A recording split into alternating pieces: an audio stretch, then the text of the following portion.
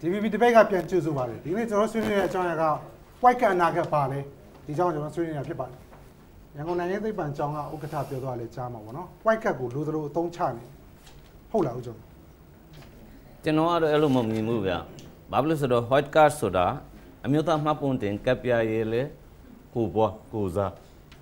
အမျိုးသားမှတ်ပုံတင်ကပ်ပြမပေးနိုင်တဲ့နေရာမှာအဲ့ဒီယာယီသက်သက်ခံကပ်ပြကိုထုတ်ပေးတယ် အဲ့တော့ကျွန်တော်ရေကျွန်တော်မိဘများရအားလုံးကပါခိုင်းတာ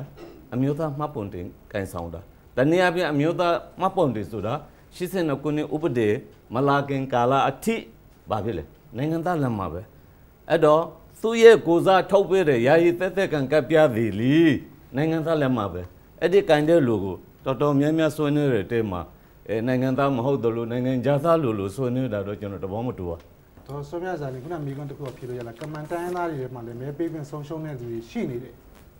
ဟိုကမန်နဲ့ပတ်သက်လာလို့ရှိရင်တော့ကျမတို့ရခိုင်ဒေကြားမှာတော့ဆွေးနွေးရအောင်မှာဖြစ်ပါတယ်ကျမရဲ့ပုံကိုရကြည့်လိုက်မယ်ဆိုလို့ရှိရင်ကမန်တွေကတော့ကျမတို့ရခိုင်ဒေထဲမှာနှစ်ပေါင်းများစွာနေထိုင်လာကြတဲ့လူတွေလို့ကျမအနေနဲ့လက်ခံထားတာရှိပါတယ်အဲ့ဒါကြောင့်မို့လို့ဒီကမန်တိုင်းရင်းသားတွေကမေးထဲပိုင်ခွင့်ရရှိဖို့ရအတွက်ဆိုလို့ရှိရင်လည်းကျမ တူတူရှင်းရှင်းဖြေချင်တာကတော့ဒီနိုင်ငံသားစီစီရဲ့ကပ်ပြားမှာဟိုရှင်းရှင်းလင်းလင်းဖြစ်အောင်ပြောလိုက်လို့ပြောပြနိုင်လို့ရှိရင်တော့ကမန်တိုင်းရင်းသားတွေအနေနဲ့ကတော့ပို့ပြီးတော့မှရရှိနိုင်လာကြအကြောင်းရှိနိုင်တဲ့အရှိတယ်လို့ပဲကျွန်မအနေနဲ့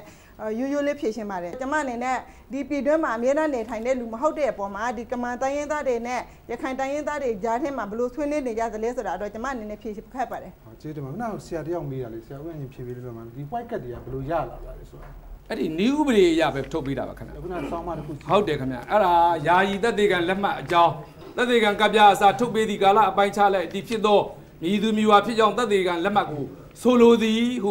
50ခုနှစ်နီးဥပဒေအပိုင်းနှစ်ငါမှာဖောက်ဖွင့်ဆိုထားပါနောက်တစ်ချက်ကယာယီခံယာယီသက်သေခံလက်မှတ်ထုတ်ပေးနိုင်သည့်အကြောင်းချင်းရများမှာမှတ်ပုံတင်စင်းတွင်ရေးသွင်းချက်ကိုနီလန်းတကြလုံလတ်စွာရေးသွင်းပြီးပြီဟုစင်းတင်းကယူဆလျက်တော်၎င်းပျောက်ဆုံးသောဒိုရိမုတ်ပျက်စီးသောဒိုရိမုတ်မထင်မရှားဖြစ်သောသက်သေခံကပြအစာ အခြားကပြတစ်ခုထုတ်ပေးရန်ရှောက်လွှာတင်သွင်းလာရင်တော်၎င်းမှတ်ပုံတင်အရာရှိချုပ်ကရေဦးရဒိုရိမုတ်အထူးအမိန့်ဖြင့်တိကျဖော်ပြသည့်အခြားအကြောင်းအရာရှိလင်တော်၎င်းထုတ်ပေးနိုင်ကြောင်းဖော်ပြထားပါတယ်ကျေးဇူးတင်ပါဆရာဆွေးနွေးပါဒီ white cat နဲ့မဲ့ပုံနိုင်ငံသား cat ဘလို့ရလဲဆိုတော့မောက်ရောမှာကျွန်တော်ကမောက်ရောဒေသရဲ့အများကြီးနှိမ့်ဆက်တယ်ပိုက်ဆံပေးရင်နေနေပေးရင် white cat ရတယ်များများပေးရင်နိုင်ငံသား cat ရတယ် အဲ့ဒါဘာဆဲမှမရှိဘူးဒါကျွန်တော်ပဂတိအနေနဲ့ပြောပြတာဆန်ဘယ်သူ့ကိုပေးရတာပိုက်ဆံကသက်ဆိုင်ရာဒီငွေလိုအပ်နေတဲ့သက်ဆိုင်ရာလူတွေပေါ့ဥပဒေထဲမှာရှင်ပြောတာပေါ့ကျွန်တော်တို့ရခိုင်ဒေသရဲ့ပဂတိအခုလက်ရှိဖြစ်နေတဲ့အချိန်တွေပြောပြတာသက်ဆိုင်ရာဆိုတာဘယ်သူ့ကိုသက်ဆိုင်ရာဆိုတော့လာဝကပါမယ်အရင်တော့ဆိုနာဆာကတွေပါမယ်ဒါပဲကျေးဇူးတင်ပါဇက်ကပေါင်းဆွေးနွေးမယ်လို့ပြောရှိတယ်အခုနပထမအန်ဒီပြောရတဲ့အထဲမှာအချုပ်ချာအာဏာဆိုတဲ့စကားလုံးလေးသုံးလိုက်တယ်ပေါ့နော်ဒီစကားလုံးကိုလည်းကျွန်တော်အမြဲတမ်း channel ထဲမှာလည်းအမြဲတမ်းတွေ့လို့ရှိတယ် ကျွန်တော်မေးချင်တဲ့မေးခွန်းကအချုပ်ချာအာဏာကိုထိပါတယ်ဆိုတဲ့ define လေးပေါ့နော်အဲ့ဒါကအခြေခံဥပဒေအရပြောတာလားဒါမှမဟုတ်ရင်မိမိ personal အရာယူဆပြီးပြောတာလားအကယ်၍အခြေခံဥပဒေအရပြောတယ်ဆိုရင်လေအခြေခံဥပဒေမှာအချုပ်အခြာအာဏာကိုထိပါစေသောအကြောင်းအရာများသည်မိတို့သောအကြောင်းအရာများဟုဖော်ပြထားခြင်းရှိပါသလားကျေးဇူးတင်ပါတယ်ကျေးဇူးတင်ပါဒီနိုင်ငံသားအဖြစ်နေမဲ့ပုဂ္ဂိုလ်တူဦးတည်နိုင်ငံတော်ကိုရှိရမယ် နိုင်ငံတော်ကိုပုံကန်တဲ့သူမဖြစ်ရဘူးနိုင်ငံတော်ရဲ့တခြင်းကိုလည်းဆိုရရမယ်နိုင်ငံတော်ရဲ့စာပေယဉ်ကျေးမှုအနုပညာတွေကိုလေးလေးစားရမယ်ဥပမာဆိုပါတော့ကျွန်တော်တို့ထိုင်းနိုင်ငံမှာထိုင်းနိုင်ငံမှာဆိုလို့ရှိရင်ထိုင်းနိုင်ငံရဲ့စကားကိုကောင်းကောင်းမွန်မွန်မတတ်ပဲထိုင်းဘာသာစကားကိုကောင်းကောင်းမွန်မွန်မတတ်ဘူးထိုင်းရဲ့တခြင်းတွေကိုလည်းမဆိုတတ်ဘူးဘရင်ကြီးကိုလည်းမလေးစားဘူးဆိုလို့ရှိရင်ထိုးလူဟာနိုင်ငံနိုင်ငံသားဖြစ်ဖို့အင်မတန်မှခက်ခဲတယ်ကျွန်မပြောချင်တာကတိုင်းပြည်တစ်ပြည်ရဲ့အနေအထားဟာ အင်မတန်မှကြောက်စရာကောင်းလာပြီနော်နေငကိုရှိနေတဲ့လူတွေထက်အဲ့တဲ့ကများလာပြီဆိုလို့ရှိရင်ထိုတိုင်းပြည်ရဲ့အနေအထားဟာအန္တရာယ်ရှိတယ်ဆိုတာကိုကျွန်မအနေနဲ့နှုံးဆော်သွားခြင်းဖြစ်တယ်ဧည့်သည်လို့ပါထပ်သုံးလိုက်တယ်နော်အဲ့ဒါကျွန်မပြောတယ်လေ1980နဲ့ငါပန်းဝန်းကျင်မှာဝင်လာတဲ့လူတွေအများကြီးရှိတယ်အဲ့ဒါကိုနိုင်ငံသားဖြစ်သတ်မှတ်ပြီလားဧည့်သည်ဖြစ်နိုင်ငံတော်ကသတ်မှတ်ပြီလားအဲ့ဒါနိုင်ငံတော်ရဲ့တာဝန်ဖြစ်တယ်အဲ့တော့ဒီ white cat ကင်တဲ့လူတွေက 31ရက်နေ့ကစပြီးဒီဟာတက်တန်းကုန်သွားပြီဒီ white cat သုံးလို့မရတော့ဘူးပြားပါလို့ပြောတယ်အဲ့ဒါသူတို့ရဲ့အခွင့်အရေးကဘာဖြစ်သွားမလဲနိုင်ငံတော်သမ္မတကြီးကခုနကြည်ညာချက်နဲ့ဆရာဦးဟန်ရင်ပြောတာထဲမှာရှိပါတယ်အဲ့ဒီထဲမှာအပိုက်6မှာကော်မရှင်ဖွဲ့ပြီးတော့ဆောင်ရွက်မယ်ဆိုတဲ့ကိစ္စပါပါတယ်အဲ့တော့အစိုးရလောက်တာထဲမှာကျွန်တော်တို့တစ်ဖက်ကအဲ့ဒီလိုတာဝန်ရှိသလိုနောက်တစ်ဖက်က Universal Declaration of Human Rights ဆိုတာ ကျွန်တော် article 1 2 3 4ကိုကြည့်မယ်ဆိုလို့ရှိရင်ဘာလုံးဆိုင်ရာလူခွင့်ကြီးနာစာတမ်းမှာပါတဲ့ဟုတ်အချက်လက်ကို article အရာလဲပဲဒီလူတွေရဲ့လူအခွင့်အရေးကိုလေးစားလိုက်နာဆောင်ရွက်ပေးဖို့တာဝန်ဟာလက်ရှိအစိုးရအဖွဲ့ပေါ်မှာရှိပါတယ်ကျွန်တော် white card ကင်ပြီးတော့တယောက်ကိုဆွေးနွေးစီခြင်းပါတယ် white card ကင်ထားတဲ့လူတယောက်ကိုဒီ white card ကကျွန်တော်ရဲ့တားရဲ့ white card ဩကိုယ်တိုင်အောင်ဘာကတ်ကင်ထားလဲမိဘနှစ်ပါးကနိုင်ငံသား မှတ်ဖို့နေကြင်ထားတယ်ပါလားမဟုတ်ဘူးပါပါတယ်မေအမအဲမိခင်ရဲ့ဖခင်ဒီသုံးခေါက်ချိုးတွေကကင်လို့ရတယ်ကျွန်တော်အခုပန်းရောင်ကတ်နိုင်ငံသားစီစီကတ်ပြားကင်တာမဟုတ်ဘူးလားဟိုဒီသုံးကောက်ချိုးကလောက်လို့ဆို1312ခုနှစ်မှာပေးထားတယ်ရန်ကုန်နဲ့မြန်မာနိုင်ငံအရရမှာတော့ပန်းရောင်ကတ်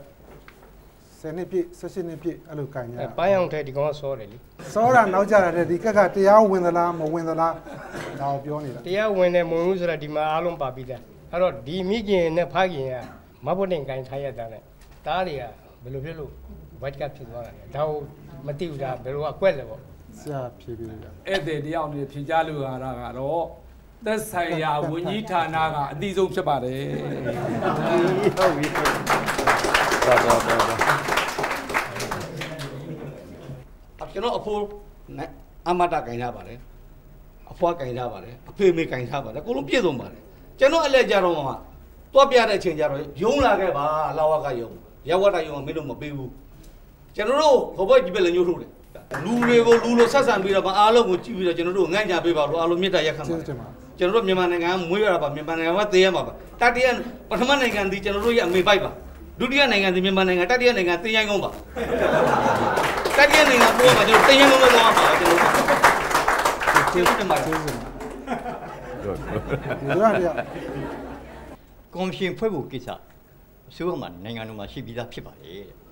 ဆိုတော့ကျွန်တော်တို့လည်းဒါလေ့လာလိုက်ပါတယ်အဲ့တော့ကော်မရှင်အဖွဲ့ဖွဲ့ပြီးရင်ဖွဲ့ပြီးတိုင်းဟာ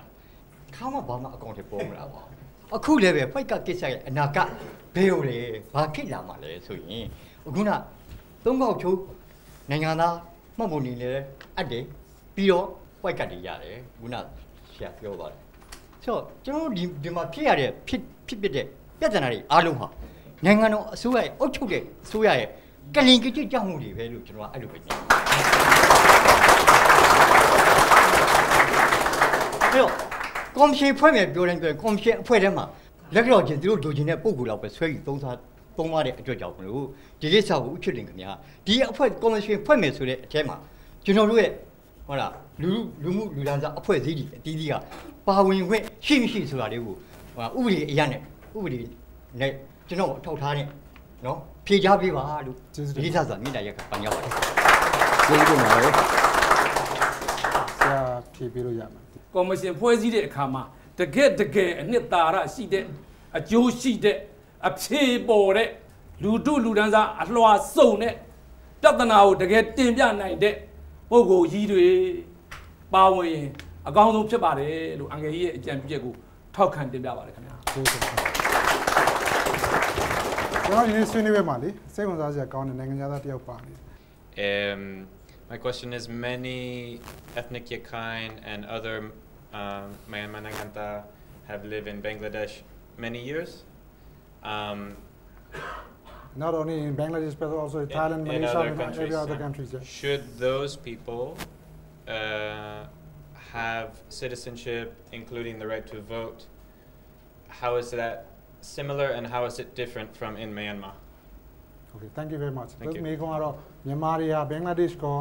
တခြားနိုင်ငံတွေမှာရောနိုင်ငံသားဖြစ်ခွင့်ရပြီးတော့သူတို့မဲပေးခွင့်ရတယ်ပေါ့လေ။ဒါကဗမာပြည်နဲ့ဆိုရင်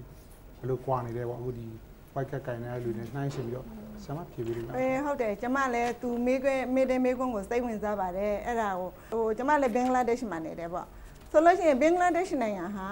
လူဦးရေအဖြစ်ဆိုရင်တန်း160ကျော်80လောက်ရှိပါတယ်အဲဆိုတော့အဲ့လောက်ထိလူဦးရေများတဲ့တိုင်းပြည်မှာနော်တခြားနိုင်ငံကလူဦးရေသိန်းအောက်ကိုပေါ့လေတောင်းကနန်းအဲ့လိုမျိုးဝင်သွားတာကတိတ်ပြီးတော့ အရာမထင်နိုင်ဘူးလို့ကျွန်မအနေနဲ့မြင်တယ်။တခြားနိုင်ငံတွေနဲ့ကျမတို့တိုင်းပြည်ရဲ့အနေအထားတွေကိုမတူတာကတော့တိုင်းပြည်တစ်ပြည်နဲ့တစ်ပြည်ရဲ့အနေအထားတွေကွာဟာရှက်ပေါ်မှာအများကြီးမူတည်တယ်လို့ထင်တယ်။ပြီးလို့ရှိရင်တိုင်းပြည်တစ်ပြည်နဲ့တစ်ပြည်ရဲ့ဖွဲ့စည်းအုပ်ချုပ်ပုံနဲ့လည်းအများကြီးဆိုင်တယ်လို့ကျွန်မအနေနဲ့ဖြေရှင်းပါတယ်ဥပမာဘင်္ဂလားဒေ့ရှ်နိုင်ငံမှာအခုအသေးလောက်ထားတဲ့ဖွဲ့စည်းပုံတစ်ခုကဘယ်လိုရှိလဲဆိုလို့ရှိရင်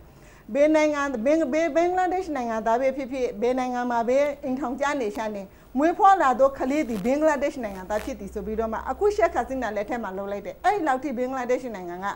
အာလောက်တာရှိတာပေါ့ကျေးဇူးတင်ပါတယ်ဦးကျော်ရင်ပါဖြစ်ဗမာပြည်လွတ်လပ်ရေးရတာ48ခုနှစ်မှာနော်အဲ့ဒီကတည်းကမြန်မာနိုင်ငံမှာလာနိုင်ငံသားနိုင်ငံသားဆိုတာသတ်မှတ်လို့ရှိပါတယ်စောစောကဟိုဘက်ကဆရာကြီးတယောက်ကပြောတာ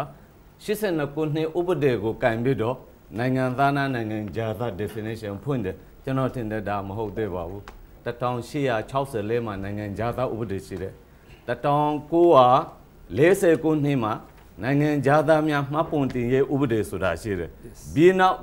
1948မှာနိုင်ငံသားများမှတ်ပုံတင်ရေးနည်းဥပဒေဆိုတာရှိတယ် yes အဲ့တော့နိုင်ငံတွင်းမှာနေတဲ့နိုင်ငံသားတွေအတွက်အဲ့လိုမှတ်တမ်းမှတ်ရမရှိတဲ့အတွက်ကြောင့်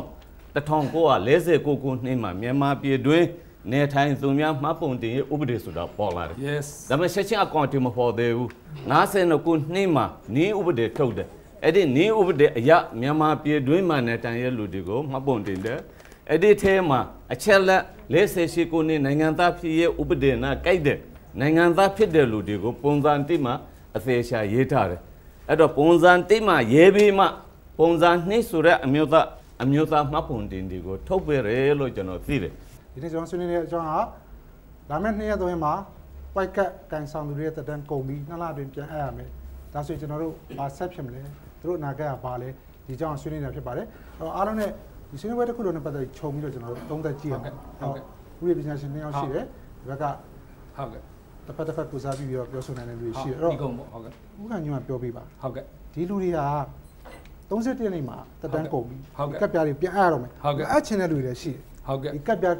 ပြန်အပ်ပြီးတော့ဘာမှပြန်မရမှာလဲစိတ်ပူနေတဲ့လူတွေရှိတယ်ဟုတ်ကဲ့နောက်တစ်ခါမဲပေးခွင့်မရမှာဟုတ်ကဲ့ဟောဒါတွေလည်းသူစိတ်ပူနေရှိဟုတ်ကဲ့ဒါနဲ့ပတ်သက်ပြီးကော်မရှင်ဖွဲ့တယ်မှန်ကော်မပါတယ်ရှင်ရဲ့ဆုံးဖြတ်ချက်တွေအတိုင်းကိုလိုက်နာရမယ်သဘောဒီဘက်ကလည်းဒါမျိုးကော်မရှင်ကိုအားကိုးတဲ့သဘောတွေ့ရဟုတ်ကဲ့ဆရာဦးတွေပညာရှင်တယောက်အနေနဲ့ဘာမြင်လဲဘာ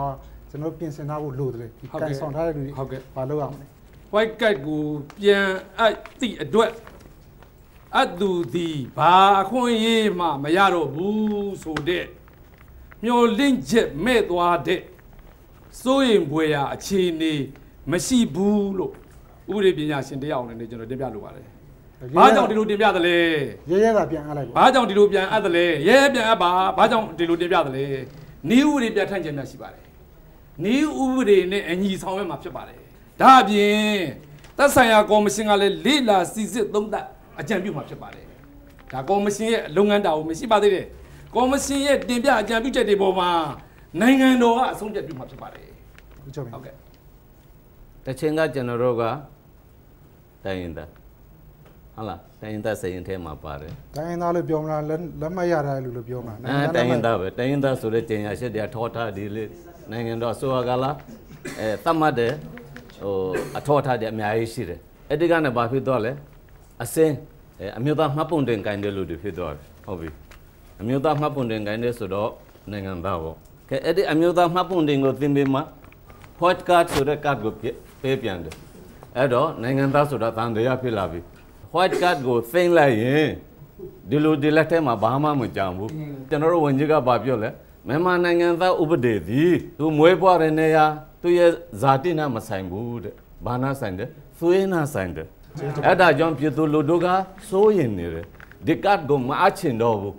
အပ်ပြီးရနောက်ပိုင်းမှာသူတို့ဖြတ်ပန်းပေးမယ်ပြောတယ်စောစောကတော့ white card ကိုမျိုးနဲ့လာဝကကထုတ်ပေးတာအခုဖြတ်ပန်းပေးမှာရက်ကွက်အုပ်ချုပ်ရေးမှုကပေးပေးမှာတဲ့အဲ့ဒါအစိမ့်မတူတော့ဘူးရက်ကွက်အုပ်ချုပ်ရေးမှုကပေးမယ်လေဖြတ်ပန်းသည်မျိုးနယ်ကထုတ်ပေးတဲ့ဖြတ်ပန်းလို့ခိုင်လုံးပါမလားတချင်ကြရင်အလကားစာရွက်ဖြစ်တော့မှာကျေးဇူးတင်ပါအဲ့တော့ဒီ card ကိုသိရင်လေစီစနစ်တကြတစ်ဖက်လိုမနေနာအောင် ဟလာခိုးဝင်ဘင်္ဂလီများဖြစ်မတော့အောင်နိုင်ငံတော်ကစီစဉ်ပေးဖို့ကော်မရှင်ကအကြံဉာဏ်ထုတ်ပေးဖို့လိုပါလိမ့်မယ်လို့မြင်မြင်မြင်ကြောင်းပြောပြလိုပါတကျေးယ်ဇူးတင်တော်ဆောမြတ်ပါ white card ကို31ရက်နေ့အပ်ပါဆိုတာကတော့အဖြစ်မဟုတ်သေးဘူးဆိုတာကိုတော့ကျမတို့အနေနဲ့နားလေတယ်အဲ့ဒါကြောင့်မို့လို့ဒီနော်ဒီကျမတို့ရခိုင်တွေကတောင်းဆိုနေကြတာရှိတယ်နိုင်ငံသားစီစည်းရေးကိုမှန်မှန်ကန်ကန်လုပ်ပေးပါအဲ့ဒါကိုတော့ နိုင်ငံတော်မှာအာဏာရှိတဲ့လူတွေကဘယ်လိုပုံစံမျိုးစီစစ်လာမလဲဆိုပြီးတော့မှစောင့်ကြည့်အောင်မှဖြစ်တယ်အဲ့ဒါကြောင့်မို့လို့အာဏာဆိုတာကျမတို့လက်တွင်းထင်မှရှိတာမဟုတ်ဘူးကျမတို့ကအကြောင်းအရာတွေကိုပဲဆွေးနွေးနိုင်ကြတာဖြစ်တယ်အဲ့ဒါကြောင့်မို့လို့အာဏာရှိတဲ့လူတွေကိုပဲပို့ပြီးတော့မှကျမတို့ကပြောရမှာဖြစ်ပါတယ်လို့ကျမအနေနဲ့ပြောချင်ပါတယ်ကျေးဇူးတင်ပါဟုတ်ဟုတ်ကဲ့ပါဒီနေ့အထိအပြည့်ရင်ဘာပေးမလဲဆိုတာကိုနိုင်ငံတော်ဘက်က ပွင့်လင်းမြင်သာအောင်ကျင်ညာချက်တစ်စုံတည်းထုတ်ပေးတာမတရားပါဘူးဒါကြောင့်အယမဲ့လူတွေမှာစိုးရိမ်ပူပင်သောကရှိတာသည်တရားမြတ်တာတယ်သဘာဝကြားတယ်ဆိုတော့ကျွန်တော်ပထမအဆင့်ပြောလိုပါတယ်ဒုတိယမအပ်ကျင်မှုဆိုတဲ့ကိစ္စမှာဥပဒေမှာတက်တန်းကုံဆုံးသွားရင်9ရက်အတွင်းအယမယ်လို့ပါတဲ့အတွက်ကြောင့်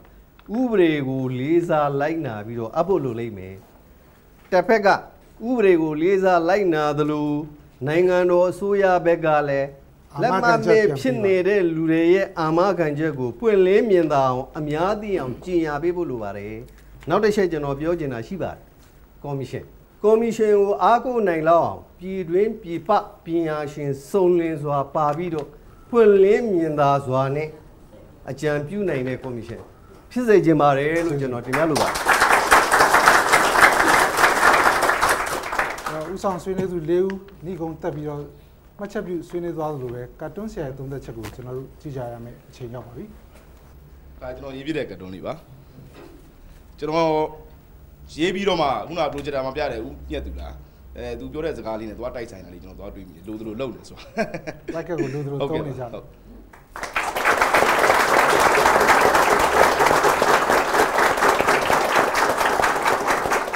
ကျွန်တော်ဒီနေ့ဆွေးနွေးခဲ့ကြတာကတော့ white cat နဲ့ပတ်သက်ပြီးတော့ဆွေးနွေးခဲ့တာဖြစ်ပါတယ် white cat တိုင်းဆောင်သူတွေကမကြခင်ပြန်အပ်ရတော့မယ်ဒါဆိုသူတို့ဘာဖြစ်ကြမလဲဆိုတဲ့အကြောင်းကိုဆွေးနွေးခဲ့တာဖြစ်ပါတယ်အချိန်တိုင်းတာရဒီနားမှာပဲကျွန်တော်တို့အဆုံးသတ်ရမှာဖြစ်ပါတယ်ဒီအကြောင်းအရာကျေပြန့်တဲ့တမိုင်းကြောင်းတွေလည်းပြောရမယ်ညင်းခုန်စရာလည်းရှိတာဖြစ်တဲ့အတွက်ဆက်ပြီးတော့ဆွေးနွေးစရာတွေရှိတယ်ဆွေးနွေးကျင်သေးတယ်ဆိုရင် Facebook မှာ DBB debate ကိုရှာပြီးတော့ဆက်ဆွေးနွေးလို့ရပါတယ်ဒါမှမဟုတ်ကျွန်တော်တို့ဒီဆွေးနွေးထားချက်တွေပြန်ကြည့်ကျင်တယ်ဆိုရင်တော့ကျွန်တော်တို့ရဲ့ website ဖြစ်တဲ့ dbbdebate.net မှာပြန်ကြည့်လို့ရပါတယ်ကျွန်တော်ရှိတခုစာရေးမယ်ထောက်ပြမယ်ဝေဖန်မယ်ဆိုရင်တော့ကျွန်တော်တို့စာရေးလို့ရပါတယ် email လိပ်စာကတော့ debate@dbb.no ဖြစ်ပါတယ်အားလုံးကိုကျေးဇူးတင်ပါတယ်ကျွန်တော်ကမျိုးတာထပ်ပါတယ်